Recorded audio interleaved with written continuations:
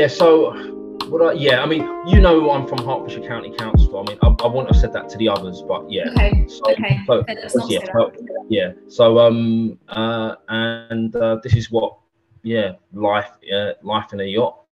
Okay. Well, over to you, and I will. I will meet my. So, uh, do, do I have to say next page to you? Okay, so yeah, next page.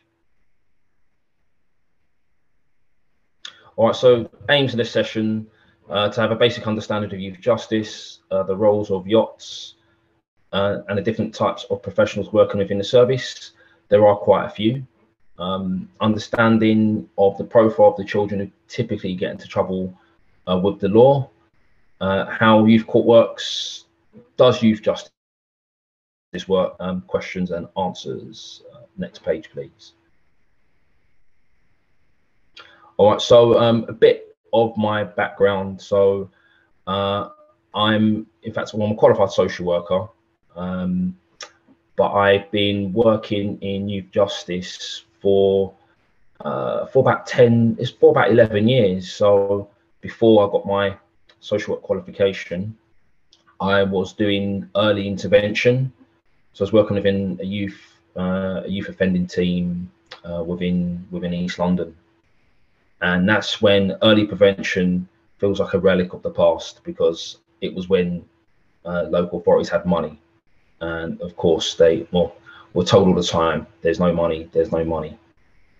Um, and after I uh, graduated in 2014. Uh, I've been working in statutory services uh, for uh, what since two yeah I guess for six years now. Worked on a, uh, a few youth offending services, and they've all got their slight differences.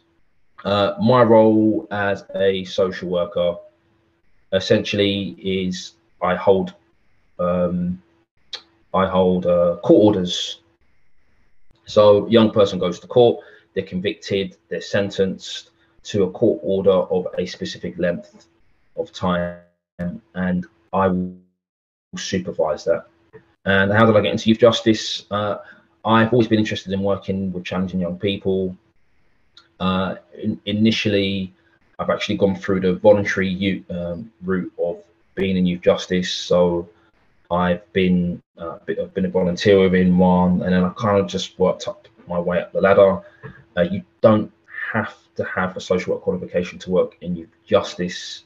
Uh, I mean, generally, they would want people who are used to working with challenging teenagers. Uh, you, you could, uh, in effect, you could be a youth worker. You can be another, a different type of practitioner as long as you have that experience working with young people, you can work within a YOT. Uh, next page, please. All right, so youth justice system um, treats young people differently to adults, and significant weight must be attached to the age of the suspect if they are under 18. So, age of criminal responsibility is uh, is 10 in the UK. Uh, I say UK in England and Wales to be specific. So um, that effectively means that uh, children under 10 can't be arrested or charged with a crime. There are other punishments that can be given to children under 10 who break the law. Um, England and Wales actually have the lowest age of criminal responsibility in Europe. Uh, I mean, if you've heard anything different, please let me know. It was previously Scotland at eight years old, but it was raised in 2019 after years of campaigning by agencies and charities um, uh, because they believed it was highly detrimental to children if they are criminalised so early in their lives. Uh, there's a statutory aim to prevent offending by children uh, and young people.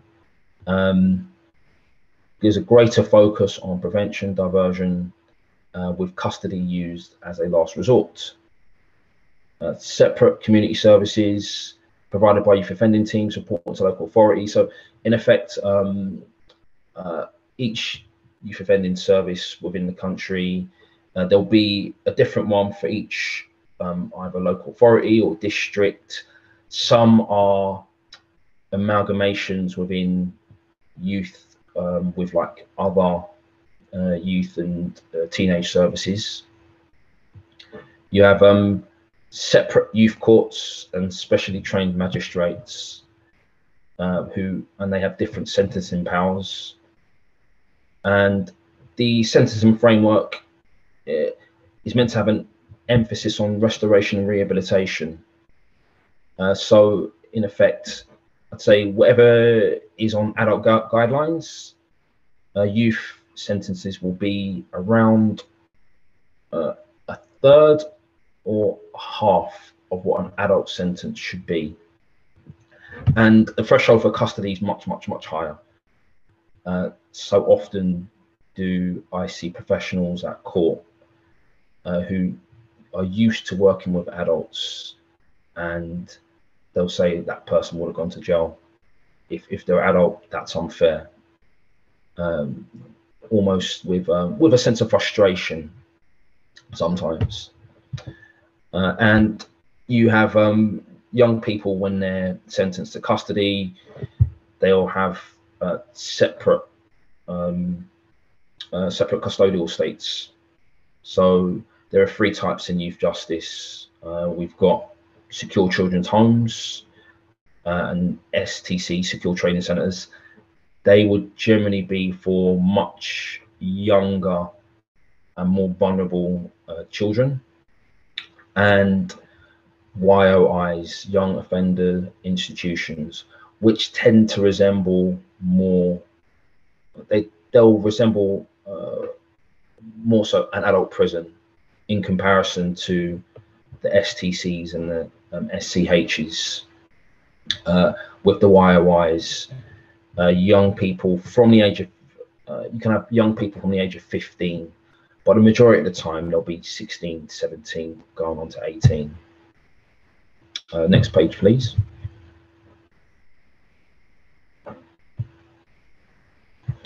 Uh, so uh, what is a YOT? We use a lot of abbreviations in, in in my job. So youth offending team, sometimes they can be called uh, youth offending services, um, youth justice service, youth justice team. Uh, there's a kind of uh, all similar, um, but they all have the same um, same statutory aim essentially. Uh, we were spawned by the Crime and Disorder Act, 1998. So, for any of you that were kind of um, into politics or you might have a bit of knowledge of politics, Labour government come in 1997. Tony Blair, very very famous quote, says, um, "Tough on crime, um, tough on the causes of crime." Uh, uh, there'd been a lot of um, there's a lot of outrage about the way teenagers were, pre- were presenting in society, uh, mainly particularly after the killing of uh, Jamie Bulger in 1992. If you don't know about it, I'd say have a look at it. Uh, really tragic um, case where I think it was the child who was murdered was was really young. I think it was like five, six, seven, eight, really young by by two by two boys who I believe those two boys were around nine or ten, and it affected the whole country. It totally affected the way um, people in the UK uh, looked at teenagers. Um, so the Act of the Crime Disorder Act uh, made it a requirement for local authorities to create YOTs um, develop youth justice plans, coordinate youth justice services, and to be multi-agency and to work in partnership with other other charities, other agencies, statutory, voluntary. Uh, so yeah, police, probation, health, education, uh, they're all required to cooperate by statute. I'll go into that a bit later. Um, so some of the things that YOTs do, assisting young people arrested in police stations. So some YOTs might provide um, uh, an appropriate adult for people under 18 who are arrested. Um, supporting young people and their families at court.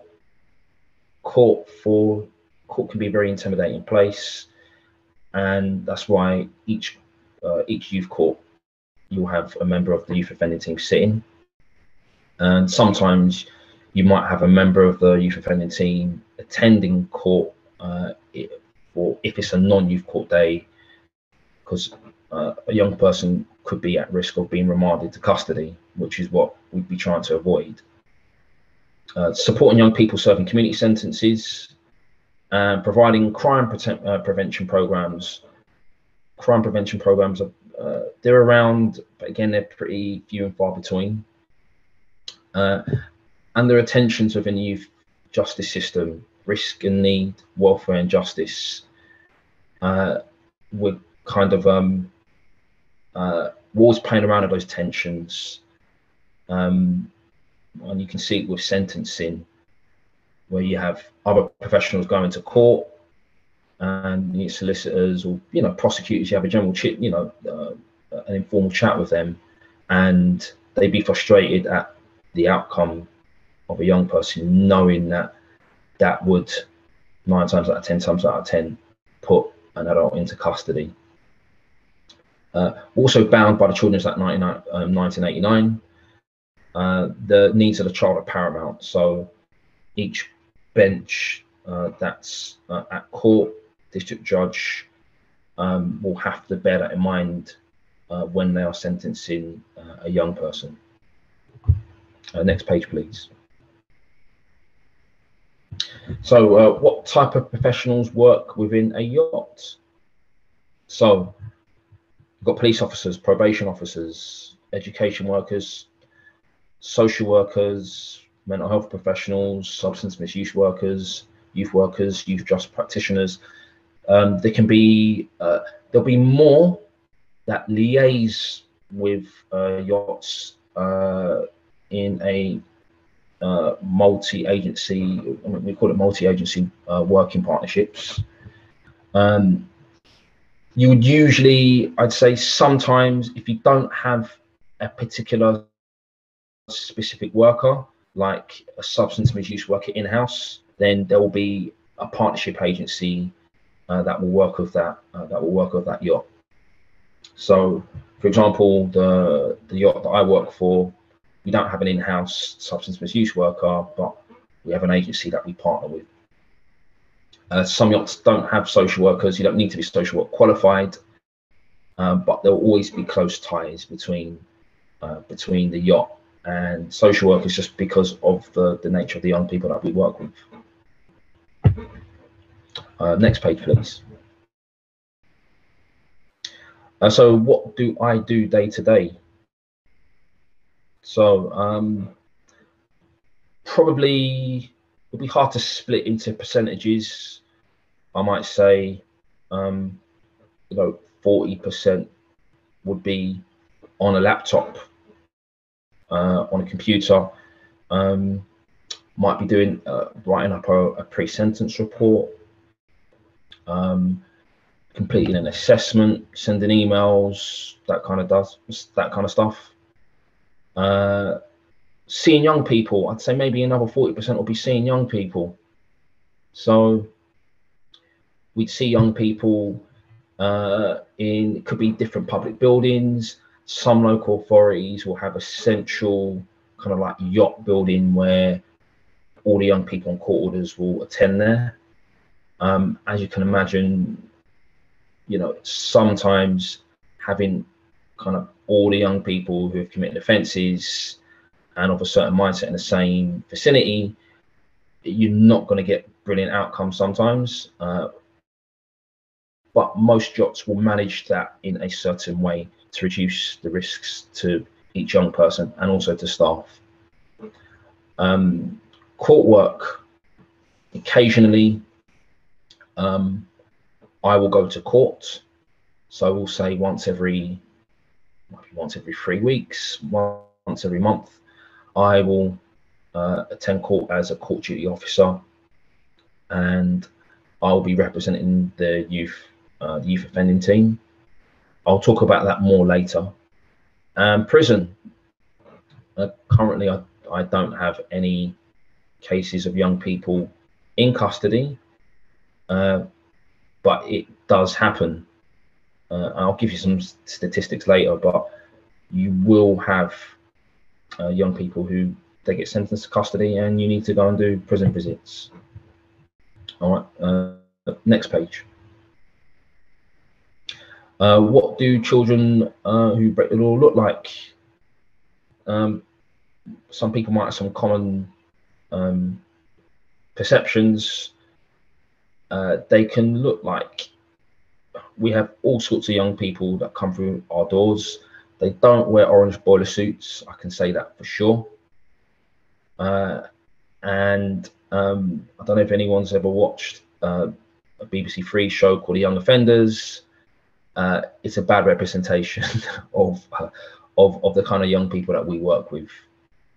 Okay, if I'm being honest, uh, there aren't there isn't anything in mainstream culture that represents what we do um, in in the slightest. I mean, you've got TV programs like uh, Once Upon a Time, The Bill, might have represented police officers. Uh, London's Burning, you know, represented the fire service. Uh, you know, Casualty, Holby City represent, you know, um, uh, kind of like paramedics and that kind of thing, like doctors in hospitals. And yeah, there, there isn't really anything um, that represents uh, certainly um, people who work with um, our client group. Uh, not, not, not, not at all. So it might be hard to picture what we do because uh, we're kind of there in the background where, you know, young people might be in the foreground um, committing offences or, uh, you know, involved in acts of antisocial behaviour. Uh, you guys won't kind of see what, you know, what we're doing maybe possibly closest thing on TV that I've witnessed uh, that might represent a little of what we do would be this BBC Three program called um, Defending Digga D. And Digga D is uh, a London based, um, I guess, drill uh, musician, like rapper, uh, who he's an adult and he was getting into trouble a lot. So he's famous in the music scene, got loads of views on, on, on YouTube and stuff. And it was a documentary going through some of his travails in his life. So in the music industry, in the criminal justice system, and it was his solicitor following him and all the cases that he was racking up and all the times he was going to court. And also he's um, you see a lot from his probation worker. And some of the stuff we do is similar to probation officers but we work with young people more intensely uh, uh, next page please all right so uh, i've given like a, a, little case study and with this case study uh, I've just named a young person Archie, and um, only reason I named him Archie is that in the 10, 11 years I've I've been doing this, I've been doing this work. Um, Archie seems to be a really common name, and I don't know whether it's just I don't know. It's just it's just a naughty name. I have no idea. It just seems to be a name I've seen so many times. So apologies to anyone if you've called your child um, Archie, uh, if you've got a child you call, I, I apologize. Uh, or if you're named Archie, again, I apologize. It's just it's just my experience. But um, uh, what I would ask is that you read the case study and uh, which professionals uh, from one of the earlier slides would be working. Do you think would help Archie, uh, would be able to help him to desist from offending and for what purpose. And uh, I would ask you to write that in the chat. Okay. Um, next page, please.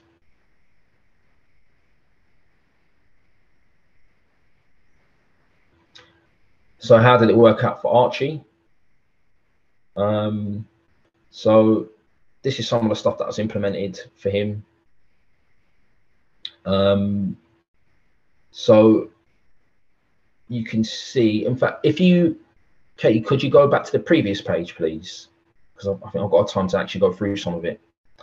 So I say um, Archie has probably got uh, the profile of a young person who we'd say there's lots and lots and lots of desistance against offending factors. So desistance against factors. We previously called them risk factors, risk risks to offending, and you can see um, unstable. Uh, uh, he, he didn't have the the best start to life. You know, adopted at two was experiencing physical abuse. Mother had a drug addiction. Dad died when he was newborn. So, no, um, I guess, uh, you know, that would have been, I guess, traumatic. Him hearing about that, uh, even if he didn't know his his father. Uh, he's physically abused by step by stepdad, and eventually adopted. And um, yeah, I mean, his mom and his stepdad obviously had another life with other kids, and he was he was adopted to you know by family in London. Um, again, really common, really commonly we'll see young people acting out at school. Uh, I mean, challenging behaviour, truancy, uh, vast number of young people in custody, vast, vast, vast, vast number is something along the lines of 80, over 80%. Uh, they um, they had issues at, at, school. In fact, they were um, excluded from school, permanently excluded. Uh, smoking cannabis, um, involved in antisocial behaviour, and Archie was groomed by older males um, because he was identified as being vulnerable told to commit several acts to, to prove his loyalty to to the gang. Uh, gangs, this is kind of uh, county lines. Um, they're almost like buzzwords now in, in in youth justice, and I'll say not in youth justice. We've known about them in youth justice for quite a long time now, but it's now crept into the mainstream, and people are now aware of these kind of uh, this kind of criminal activity and the effect it can have on on the victims. So um, as you can see, some of the difficulties he was having is now led him to become entrenched into offending. And uh, unfortunately, he's uh, been sentenced to custody for two possession of um, knife offences. Uh, so, it, uh, next page, please. so how, how it worked out for Archie. Um, so work was he was basically supported in essence. So uh, it's written that he had a female worker so that he'd feel less threatened. Um, upon release, upon being released from custody, he was placed into a semi-independent placement because he'd become a child looked after. So obviously his um, uh, his adoptive parents disowned him, and um, essentially the local authority would have a duty to um, to, to accommodate him, and that will be under Section 20 of the Children's Act 1989. So he needed a lot of therapeutic intervention, management around his emotions, talking about um, you know it's taken a long time for him to talk about his past. I've found in my time some it's hard to get out some of these things. It's hard to extract some of these things from young people, and uh, I've always found that if you can't do something yourself, hey, there's other professionals that can do it. Because essentially, my role is um, I don't do everything. It's actually coordinating with people who are specialists in in, in, in different domains. Um, so we've got Archie. Talked about talking about his early years. He was angry, sad, and confused. Totally understandable. Um, big step for him trying to address his mental health. Uh, before he's 18, he's actually returned to custody. He's, he's been sentenced to custody on two other um, occasions. Uh, but the placement, they were always there supporting him with visits. So at least Archie knew that he would always be coming out to, he would always be released from prison with uh, with a named uh, accommodation. We have young people sometimes that they go to custody, and uh, one of the prerequisites to them being released would be they have to have a, an, an, address, and some of them don't have an address. And if you don't have an address, you don't know where you're going to. Technically, you're not meant to be released, but what tends to happen is that an address isn't found until the last until the last moment. It might be sometimes 20, 24 hours before the young person's released. They'll know what the address is, and in those circumstances, the accommodation will be, um, you know, is likely to be miles away from where they know, and the council, because they were desperate, probably paid big bucks uh, to try and accommodate this young person. So uh, it wouldn't be in so many different ways. It, it, it's not ideal, particularly for the um, you know for the I guess emotional well-being. And um, upon release, emphasis was put into securing some of his education, training, and employment. Uh, he was in a good place emotionally, coming to terms with the fact that um, he was on his own, but he had a good support network work on his skilled people. Seems like he was interested in cars, mechanics, so he supported to to look into that. Begins an apprenticeship. Uh, absolutely fantastic. So you can see it starts working out for Archie when the right support goes in. Right, uh, next page, please. So youth court, uh, different to magistrates courts. Um, they're held in a magistrate's court, uh, and there are some key differences. As you can see, youth courts much more informal, and you know they address defendants by their first name. Uh, always allow they're always allowed the defendants to speak. Um, parents must attend if they're 16. Uh, so if, if, they're under 16, uh, and uh, they're not open to the general public.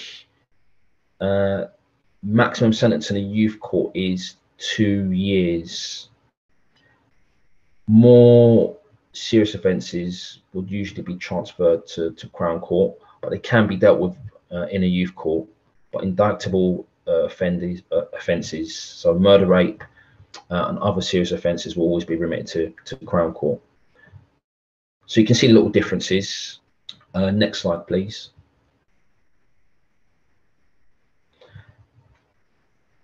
There's a image of typical youth court um, layout. And also, um, I've put in a little video of um, what a youth court, uh, what a hearing would, uh, you know, would look like. So, if you could fast forward to, I think it's three minutes 20, please.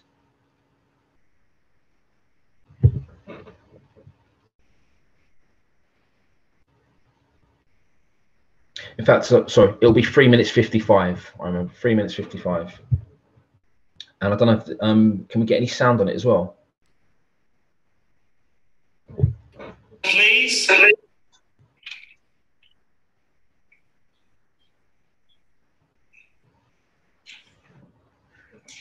Morning, everyone. Your worships, our first case is David Skinner, who has not been to court. Dave, could you take your hat off, please? Thank you.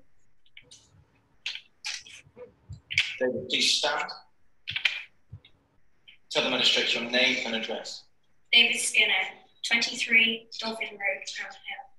Is your date of birth the 30th of the 9th, 1994, and are you 14 years old? Yes. David, because you haven't been into court before, I'm going to tell you who everybody is. On your right is the solicitor from the Crown Prosecution Service. Behind him, and also to your right, is somebody from the Youth Offending Service. And this is the court usher who will help with the smooth running of the court. And in front of us is the legal advisor who also helps to tell us uh, all sorts of legal issues. And the three of us are magistrates, and we're the ones who are going to decide what to do with you today. Now, David, who is on your bench? Can I grab your grandmother? David, you are charged that at Plymouth on the 28th of July 2008, you stole two compact discs to the value of £12.50 belonging to W.H. Smith. Do you understand the charge, David? Yes, Do you plead guilty or not? guilty. David, could you sit down now, please? Your worships, David has gone into. Smith on the 28th of July with friends, has proceeded to take two compact discs from the shelf, put them inside a bag, and put the bag inside of his jacket. He's then left the store without paying. Security staff followed him, apprehended him, and brought him back to the store. Police have come from elsewhere, arrested him. The goods were returned to the shop and put at a value of £12.50. I do not apply for costs in this case. Your worships, David appears before you for the first time and has pleaded guilty at the earliest opportunity. His action on the 28th of July was completely out of character and tells me that he doesn't know what person behave in this way. Uh, if I may remind you that in this case, the bench only has three sentencing options available to it um, an absolute discharge, a referral order, or in really serious cases, um, a custodial sentence. Mrs. Skinner, you're the grandmother. Um, have you got anything you'd like to say about your grandson's behaviour? Well, he's doing very well at school. He's, his behaviour actually has been better in, in the last few weeks. His mother stopped him going out late at night. She was mixing with people that she wasn't too happy about and thinking that there had been bad influence on him. He seems to be sorting himself out. Right, thank you.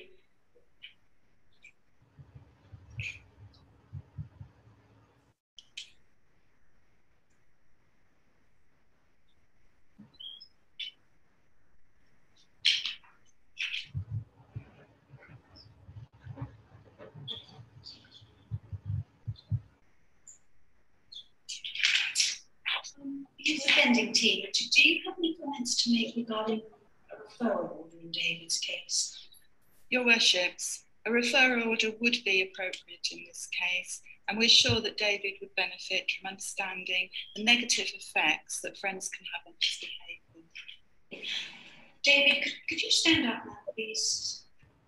David, do you have anything to tell, you know, anything to really help us about why you did this and uh, anything else regarding the offence?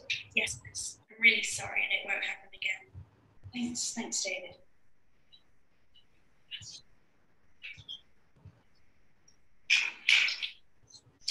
David, you've heard what's been said in the court today, and this is how we're going to deal with you. We're going to make a referral order for three months for the offending the offence of shoplifting. This means that the Plymouth Youth Offending Service will set up a youth offending panel. You and your mother, Mrs. Skinner, can you make sure that David's mother is aware of all this because it's vitally important? His Yes, mother must attend meetings of the youth offender panel. And you must, must tell her that if she doesn't attend, she can be fined. We have the power to punish. She has to attend, the David. I will tell her she's called Mrs. Jones. Mrs. Jones, Mrs. Jones Skinner. Make a note of that. And David, you will be required to sign a contract. And this contract will include activities that will stop your venue again. We also hope, David, that you will be asked to write a letter of apology to the shop. The order starts the day you sign that contract. And David, if you don't sign that contract, you can be brought back to court and given a very different sentence. Do you understand? Yes. Very well, we'll make the referral order for three months. That's all. Thank you all very much. All stand, please.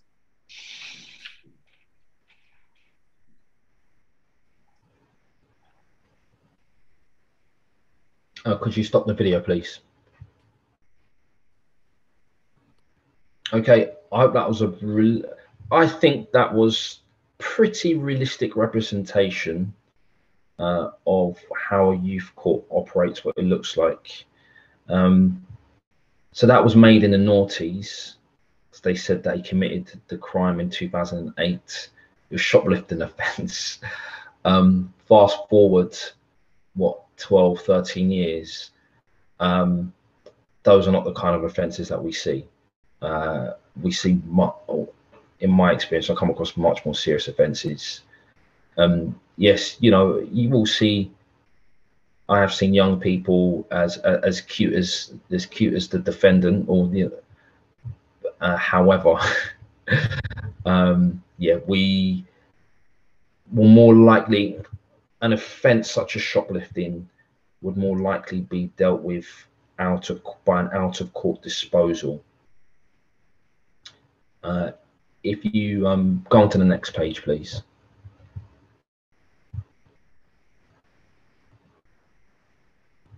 So there's a separate sentencing framework for under 18s. Uh, it emphasizes res um, restoration and rehabilitation um, and has a higher threshold for the use of custody. So um, the out of court disposals I was referring to at the top. So youth cautions and conditional cautions, uh, we call them for short YCs or YCCs. Um, they're an alternative to prosecution when a young person admits the offence uh, and it's not in the public interest to prosecute. So what would tend to happen with those is that uh, the police will make the decision. Well, first of all, the young person would have to admit to the offence first time, and it would have to be considered by a police panel whether that offence uh, qualifies for a for a youth caution or youth con conditional caution it, it would have to be usually the young person's first offence. I mean, sometimes they can do it on, on a second offence, and it will be a, a youth conditional caution rather than a youth caution. Um, the conditions of that caution might be for them to uh, attend um, several sessions to do with the offence that they committed. So it, it might be a, a low level offence like possession of cannabis. And they'll have to do several sessions with uh, sometimes it can be from a professional from the youth offending service.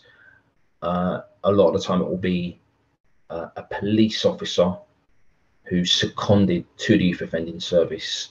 They'll deliver that youth conditional caution. And it might it will be some sessions on harm reduction, the risks of cannabis, that kind of thing. Um, they are for they are meant to be for minor offences. Uh, however, we do see, I have seen young people receiving a youth conditional caution for uh, possession of, of, a knife. Knives, hot topics in the media at this moment in time. Uh, for obvious reasons, they can cause a lot of harm, can cause a lot of damage. Um, we do see it, and it's totally the police. Um, you know, it, it's at the judgment of of the police on whether they feel they'll take that to to court for prosecution or whether they'll leave it out of um, as an out of court disposal. In my experience, generally, if it's a really, really young person, if they're like 10, 11, 12, that kind of age, and they brought it to school, something along those lines, they're more likely to get a youth condition caution, more more likely. Um, referral orders. That is the order that the um, the bench referred to.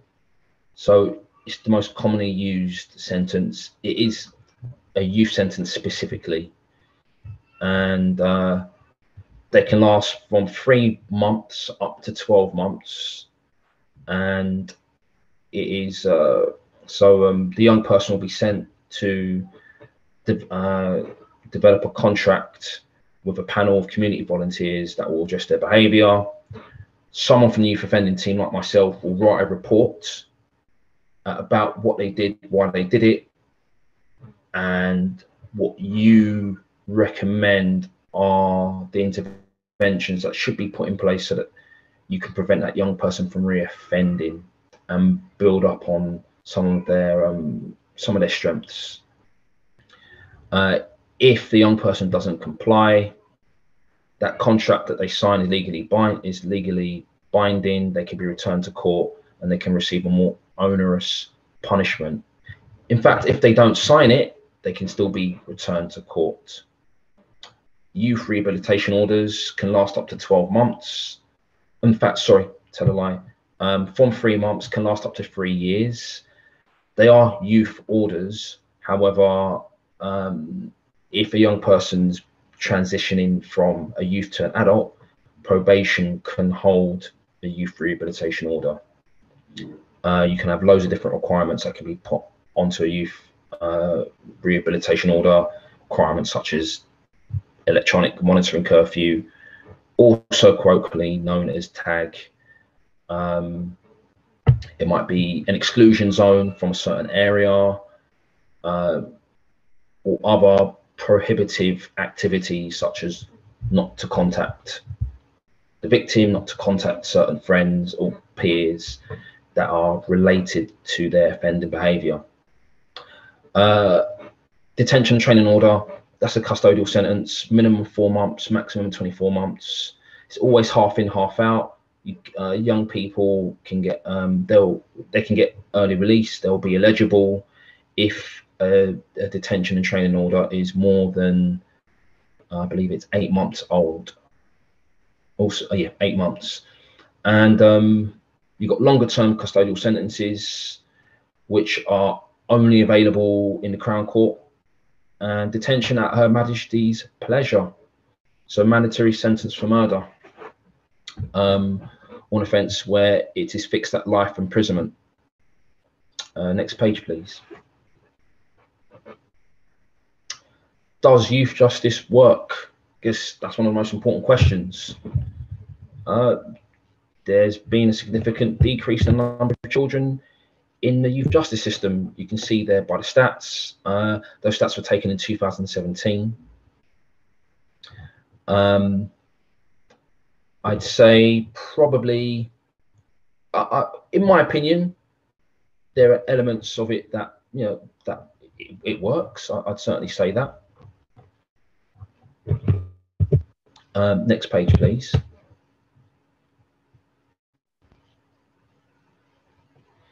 Uh, the Ministry of Justice would consider the youth um, youth justice system a success, and uh, you can see some of the statistics that they would quote uh, to show that it, it is a success.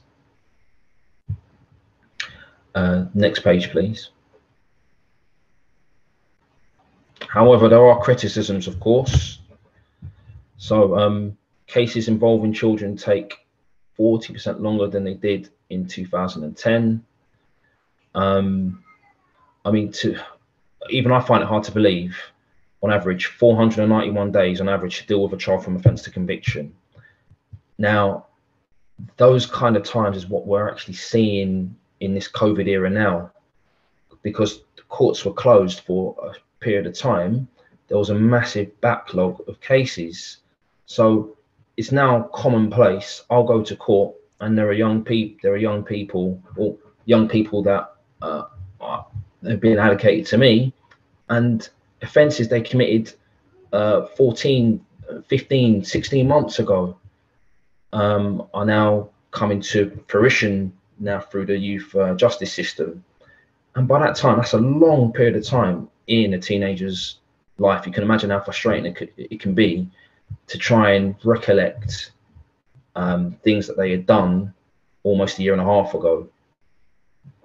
Reoffending rates for children are higher than they were 10 years ago.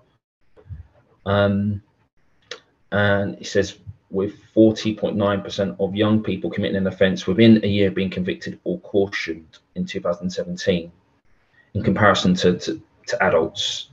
So what that's essentially saying is that um, it's even though first time entrants have gone down, uh, some of the uh, the young people who are more prolific they are the ones that are probably driving up those numbers, those those reoffending rates. Um, their criminality seems a bit more durable, for want of a better term. Um, looked after children are still being prosecuted for damaging their hair, their care homes, the assaulting staff. Um, it's it's always sad to see that in court. It really is a young person with um, uh, a difficult upbringing going to court because they, they smashed up their care home. Uh, disproportionality um, that has that has got worse. It's, it's, it's, increased. So, and the proportion of children who've received the youth caution or sentence who are Black, Asian, um, you know, BAME for short, has doubled since 2010. Um, it's it it really um, almost doubled. Uh, it's something that the system is trying to get well on paper they're trying to get a grip of it but uh, i haven't seen it i think other colleagues were not were not, were not really seeing it um, you can see when you're sometimes uh, you'll go i've been to court and uh, someone a person of, of, of, color will they'll get a sentence uh, a, a more harsh sentence than someone uh, who appears uh, white, British, English, or a traveller will get a much worse pu- will get a much worse punishment, and it'll be for the same offence. Um, children being brought to court in handcuffs, locked behind bulletproof glass. I never knew that the glass in the dock was bulletproof. Um, in magistrates' courts, uh, the glass has gaps so that the young person can speak through it. So um, uh, bulletproof, it wouldn't make any difference because you could shoot through those gaps anyway. But um, generally, uh, we're not meant to put uh, young people aren't really meant to go on the dock. Officially, if there's a risk of custody, they should go in the dock. And most pre-sentence reports would be considered what we call all options. So custody and community sentences, they should go into the dock. Uh, a lot of, in my experience, a lot of magistrates will say, look, um, just to relieve any anxiety, don't go in the dock uh, because I'm not going to send, I'm not going to send, I'm not going to send you to prison. So there's there's no point. Um, but uh, use the use of the dock shouldn't it shouldn't be used to to scare young people. Um, youth courts, loads of them have closed all around the country. And what you're having is that um, rival um, gang members, uh, just rival people who aren't in a gang, you know, people that have issues of others, they're all in the same court. Low, you can have loads and loads and loads of problems in courts now uh, for this reason. And um, also, um, you get thousands of children that are left in limbo for months or years when released under investigation. Um, they're absolutely low. See all the time now. Uh, next page, please. Uh, that's a bit about some of the relevant legislation that we use. Um, I'm not going to go into any details about them, um, but just thought you might like to you might like to see it and um, next page, which is the last page. Thank you for listening. And that image I hope is how we want all the young people that come for the system to end up being like as happy and uh, you know um, as happy and cheerful as as, as that as that image and uh, reading their books and their tablets and um, nice and unified and uh, pretty looking. Um, yeah, that's it. Thank you so much. That was um, that was really interesting. I have so many thoughts, so many questions. Um, what you do is really intense. There is, like there is, it's so complex, and you're dealing with young people that have had really difficult starts in life